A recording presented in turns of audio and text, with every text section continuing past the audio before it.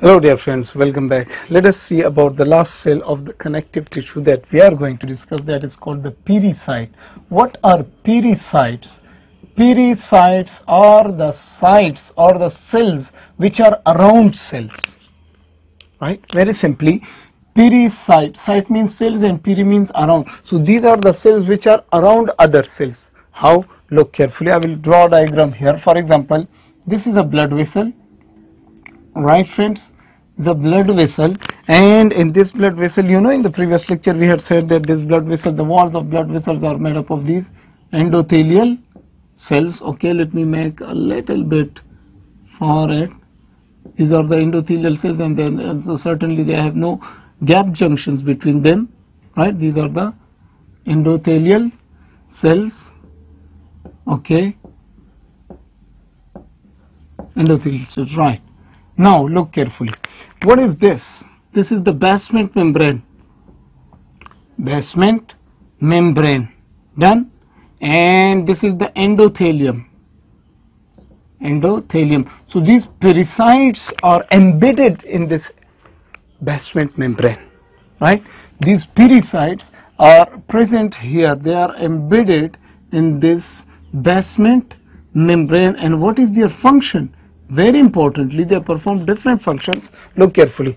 In the blood whenever there are different substances which are damaging these endothelial cells or we say that whenever there is a tear to the blood vessel so the blood is easily oozing out of this area. So in order to protect this blood vessel and in order to prevent this blood from oozing out these uh, pericytes will uh, fastly migrate to this area and they will close this open blood vessel here and they will fastly uh, they will fastly mit mitotically uh, reproduce and they will fastly fill this area and they prevent the blood from oozing out.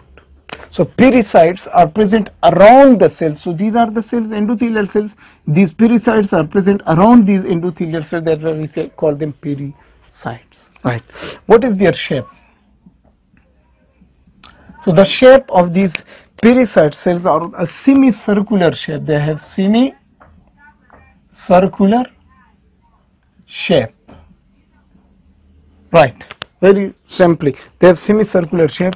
Then we say what is their number? How many pericytes will be present in your body? Very funny question. So there are 100 million, 100 million pericytes can be found in your body. So look, what is their number? Very much they are present. What is their lifespan? The lifespan of these endothelial cells, so they say that their lifespan is about 9 days. So they remain for 9 days and after that they die and before dying they reproduce. Before dying they reproduce. So we say their lifespan is about 9 days and then they are also derived from mesenchymes, you know, they are derived from mesenchyme because that's why we are discussing them in the cells of connective tissue. So they are derived from mesenchymal cells. Right friends. And then what is their location? Where are these pericytes located? So as i told you here they are embedded in the basement membrane right? So they are mostly embedded embedded in basement membrane. Basement membrane of around blood vessels. You know that. And what is their size? What is the size of these cells? These pericytes so their size is about 70 micrometer right? Their size about 70 micrometer. And what is their function? I told you in the beginning of this lecture the function of these cells is protection of these endothelial cells and protection of these blood vessels. Whenever the blood vessels are teared the blood will ooze out. There will be hemorrhage. There will be loss of blood. So fastly these endothel these these pericytes will go and migrate to that area and they will protect that area right? So this is about pericytes friends. So here we are finished with the cells of the connective tissue.